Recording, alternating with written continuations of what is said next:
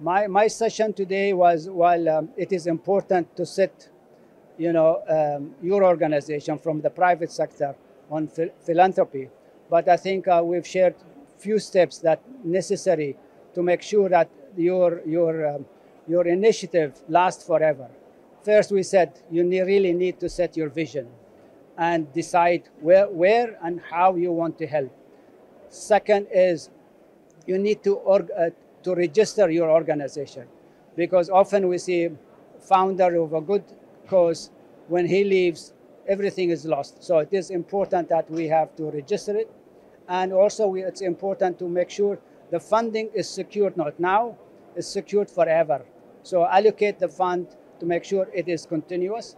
And of course we say you it has to be uh, there is transparency and accountability in any philanthropy and you cannot do it on your own you have to hire the best talent just like what you do for your business to run this organization we, we have to also ensure that we, we work for impact on the ground and last also i think personal involvement is important so you don't only donate your money, you really need to donate your time.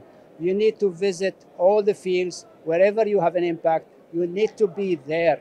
This is a very important. And last, I think uh, why I'm here today is to share my experience and to ins- inspire other UAE nationals and around the world how you can start a philanthropy and how make sure that it will continue.